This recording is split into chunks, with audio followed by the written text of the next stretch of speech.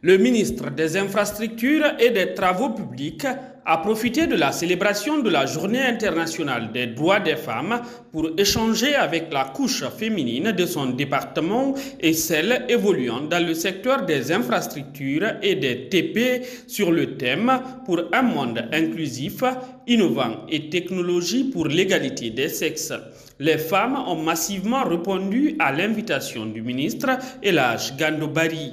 Elles ont dans l'ensemble demandé plus d'attention, de formation et d'assistance à l'endroit des femmes. La directrice de l'entreprise Somajek, Maria Mawan, a salué cette initiative du ministre des Infrastructures et des TP. Elle demande le respect du taux de 30% d'attribution des marchés aux femmes. Moi d'abord en tant que femme, c'est un immense plaisir et euh, une fierté d'être déjà dans ce secteur parce que c'est un secteur qui est presque masculin, ici. Donc avoir des dames dans ce secteur, c'est une fierté parce que c'est pas tout facile cette, euh, cette activité avec les, avec les équipes sur le terrain. Donc c'est un challenge, c'est un défi à relever. Donc en tant que femme, ce n'est qu'une fierté pour moi. Maintenant, l'aide, c'est d'inviter davantage le ministère et même euh, tout le pays a, accompagné en fait les femmes. Et ce taux de 30% que le ministre a annoncé tout à l'heure, euh, il faut que maintenant ce taux-là soit, qu'on sente ça vraiment euh, dans l'attribution des marchés. On ne demande pas de nous donner les marchés parce qu'on est des dames, qu'on nous donne parce qu'on doit les avoir, qu'on nous donne parce qu'on a la compétence de l'avoir donc cet accompagnement, en fait, que ça soit à la hauteur en fait, de notre niveau.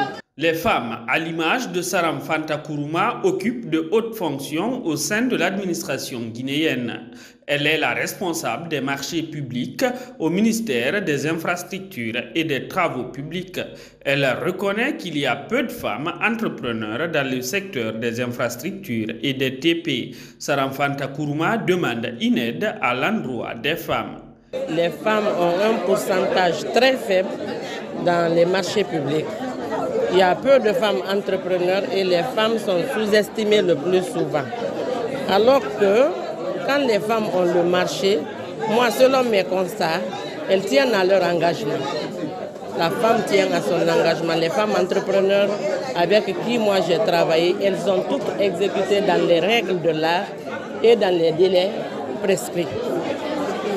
Donc, euh, j'encouragerai toutes les personnes responsables, tous les, les acteurs de la commande publique d'aider les femmes entrepreneurs. Parce qu'elles ont eu le courage d'intervenir dans un milieu très dur, un milieu masculin, pour ne pas dire que les hommes ne sont pas très très gentils avec les femmes. Parce que généralement, les femmes ne vont même pas en groupement avec les hommes. Pourtant, il faut les épauler.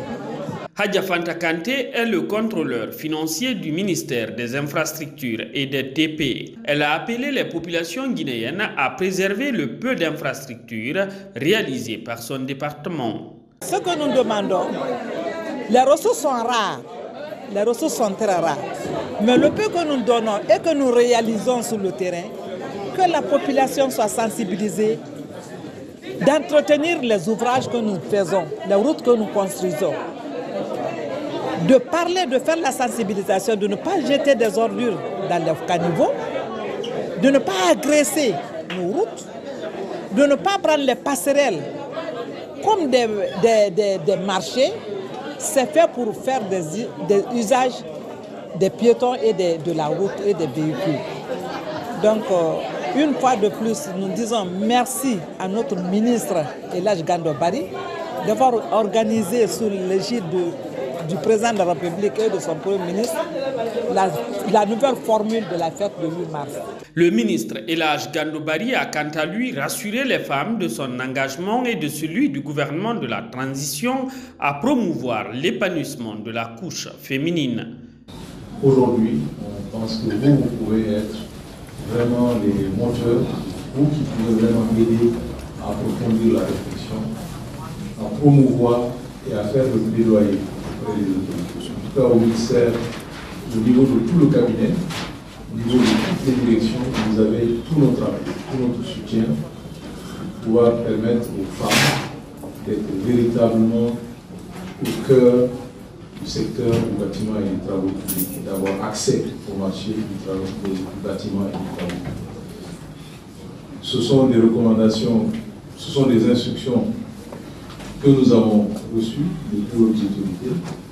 Et c'est l'occasion donc enfin d'encourager toutes les dames qui sont avec nous, toutes les jeunes filles qui sont avec nous ou qui ne sont pas avec nous, qui nous suivent, de comprendre qu'il y a des précurseurs dans ce secteur, il y a des modèles. Donc elles ne sont pas seules. Si elles veulent être dans la maçonnerie, si elles veulent créer une entreprise de bâtiments et de travaux publics, si elles veulent les conseils pour avoir euh, accès au financement, que ce soit au niveau du budget national de développement ou au niveau des financements extérieurs, elles ont aussi des consoeurs dans le secteur privé, mais aussi dans l'administration, qui sont là pour les aider.